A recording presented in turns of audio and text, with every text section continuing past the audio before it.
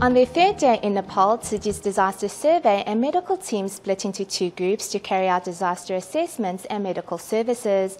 After obtaining permission from the Ministry of Health and Population in Nepal, doctors carried out a free clinic in Bhaktapur city. With a small table with bottles of medicine, two superintendents of Tzu Chi hospitals and their doctor's coat begin their medical service. This free clinic in Bhaktapur, a city 15 minutes drive away from the capital of Nepal, Kathmandu. Upon learning of the free clinic, in just 30 minutes, more than 30 quake survivors showed up. Doctors dress quake survivors' wounds with extra attentiveness.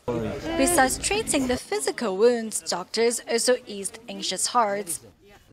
With us tending to their wounds, I believe these quake survivors will feel much better.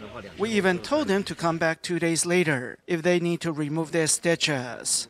After receiving permission from the Ministry of Health and Population in Nepal, three days following their arrival, Tzu Chi's disaster survey and medical team split into two teams to conduct disaster assessments and free clinics. While some of the doctors carried out medical services at a care center, the rest of the team traveled to two other hard-hit areas, including Bhaktapur and Kavri, which is located an hour's drive away from Kathmandu. The doctors and nurses here are really welcoming. We can provide this hospital with medical supplies that they lack from Taiwan.